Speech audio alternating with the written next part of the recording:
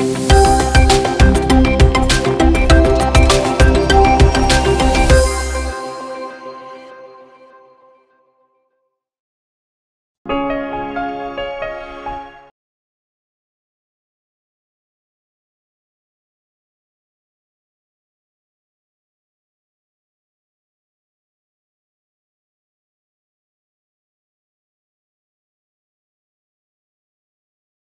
مشاهدي طقس العرب السلام عليكم ورحمة الله. إليكم الأحوال الجوية المتوقعة للثلاثة أيام القادمة. في البداية نبدأ من هذه الليلة ليلة الثلاثاء على الأربعاء. الأجواء غائمة جزئيا بغيوم متوسطة وعالية. الأجواء باردة نسبيا. درجات الحرارة الصغرى بحدود 8 إلى 9 درجات. أيضا الرطوبة النسبية مرتفعة رايحة تكون ما بين 80 إلى 88% والرياح غربية معتدلة. السرعة.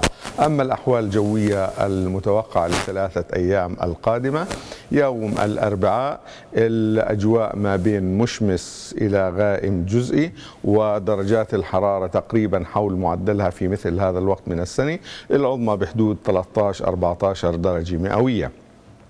لكن يوم الأربعاء ليلا تتكاثر الغيوم المنخفضة وبعد منتصف الليل وفي ساعات صباح يوم الخميس الباكر تتهيأ الفرصة لسقوط زخات متفرقة من المطر بإذن الله. وبالتالي يوم الخميس صباحا الأجواء بتكون باردة نسبيا وغائمة جزئيا وتسقط زخات متفرقة من المطر بإذن الله. بعد ظهر يوم الخميس تتناقص كميات الغيوم تدريجيا وتخف فرصة الهطول أيضا تدريجيا وبالتالي يصبح الجو بارد نسبي وغائم جزئي العظمى بحدود 12 درجة والصغرى 7 درجات مئوية. أما يوم الجمعة يوم الجمعة يستقر الجو ويطرأ ارتفاع قليل على درجات الحرارة بحيث تعود درجات الحرارة لتصبح حول معدلها في مثل هذا الوقت من السنة. بحدود العظمى راح تسجل يوم الجمعة في عمان ما بين 14 إلى 15 درجة مئوية. والأجواء يوم الجمعة ليلا بتكون ما بين صافية تقريبا يتخللها ظهور بعض السحب والصغرى بحدود 7 درجات مئوية.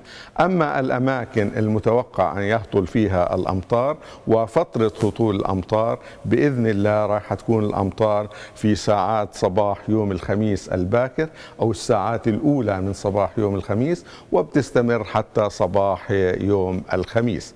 لكن زي ما حكينا بعد ظهر يوم الخميس تتناقص كميات الغيوم ويميل الجو إلى الاستقرار وأيضا يخف الهطول تدريجيا لكن يبقى الجو بارد نسبي ويوم الجمعة إن شاء الله ارتفاع قليل على درجات الحرارة.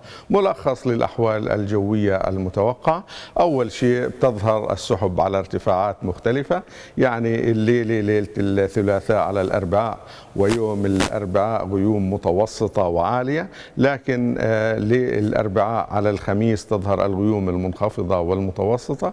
بتتهيأ الفرصة لسقوط أمطار بإذن الله خاصة في الساعات الأولى من فجر يوم الخميس. وأيضا درجات الحرارة بشكل عام بتكون حول معدلها يعني ما بين الانخفاض والارتفاع زائد أو ناقص درجة إلى درجتين خلال الأربعاء والخميس والجمعة لكن تبقى بشكل عام حول معدلها في مثل هذا الوقت من السنة بإذن الله. أعزائي المشاهدين شكرا لمتابعتكم ومن طقس العرب نحييكم وإلى اللقاء.